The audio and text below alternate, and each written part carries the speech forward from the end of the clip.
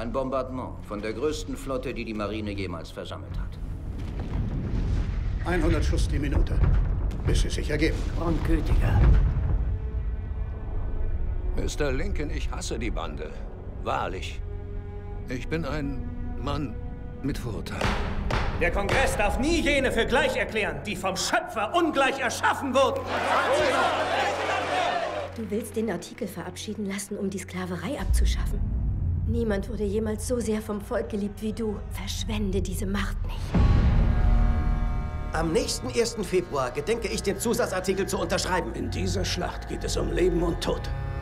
Diese Männer aus dem Süden kommen mit einem Friedensangebot. Die Abschaffung der Sklaverei besiegelt das Schicksal von Millionen, die heute Leibeigene sind. Und von Millionen, die noch kommen. Frieden mit den Konföderierten oder der Zusatzartikel. Sie können nicht beides haben. Die Sklaverei, Sir, ist Geschichte.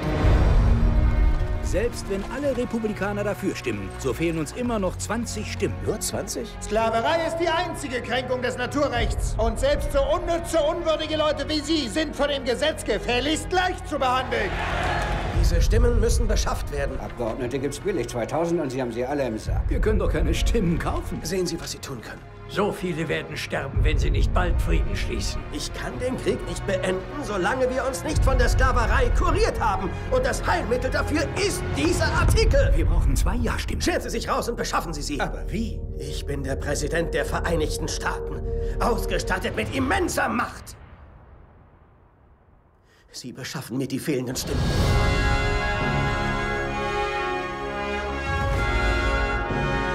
Schließen Sie einen Kompromiss, sonst gefährden Sie alles. Der Krieg ist in einem Monat vorbei. Wir werden mit absoluter Gewissheit alles verlieren. Schießt mich tot, ich stimme mit Ja! Lassen Sie die Verfassung in Ruhe. Heute werden wir abstimmen. Nein, Sie kränken Gott. Ja. Verräter! Ruhe!